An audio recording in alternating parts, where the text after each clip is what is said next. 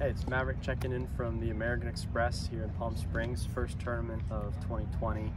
Uh, really excited to get started. It's kind of a unique event. We have three golf courses here this week. La Quinta Country Club will be my first round tomorrow, and then playing the two at PGA West here, the Nicklaus tournament, and then the stadium course on Saturday, and the final round is stadium on Sunday again.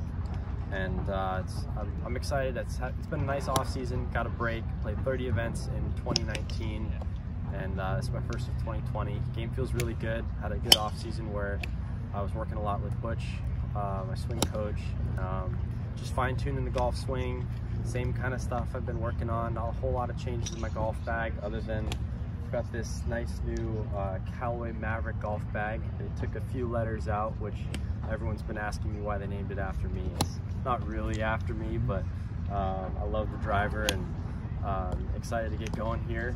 Um, I'd say no no real changes from 2019 to 2020. I had a nice fall. Um, was really happy with uh, the, setting up a good West Coast swing, so I'll start here, playing next week, driving across uh, across the mountain to San Diego, and then uh, have a week off, and then I'll play the AT&T at Pebble Beach. So it'd be nice to, to have another three-week stretch here where I don't get it on an airplane, just driving from event to event, and then back to Vegas. So can't wait to get going.